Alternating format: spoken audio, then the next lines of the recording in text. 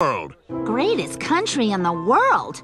We packed our bags, we hopped a plane, we left our happy home. Uh, Francine, singing's kind of illegal here. The culture seemed a bit insane, but you said, hey, when in Rome. Uh, seriously, Francine, ixnay on the inging. Maybe you've got no reason to complain,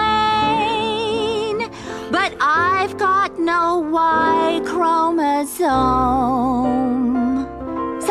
What I don't like about Saudi Arabia. Hit it! You can't go out unless you are escorted by a man. And when you do, you come home with a butt crack full of sand. No alcohol, no rum and cokes, and no Dom Perignon.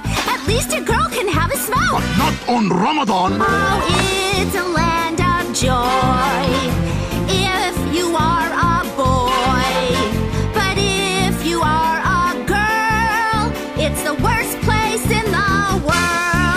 Okay, Francine, we get it. Oh, but I'm just getting started.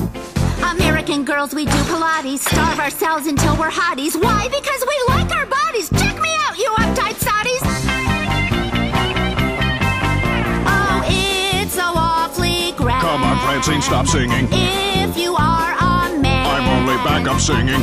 If you don't take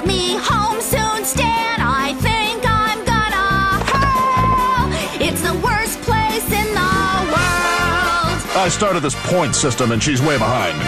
I only want to see the world, explore and socialize. But in this town, I can't so much as look at other guys. Cause if I did, they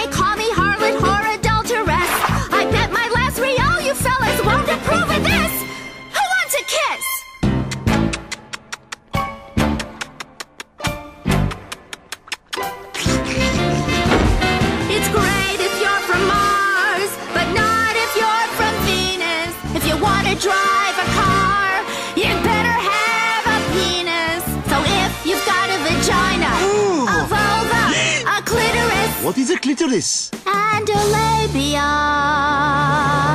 You see where I'm going with this.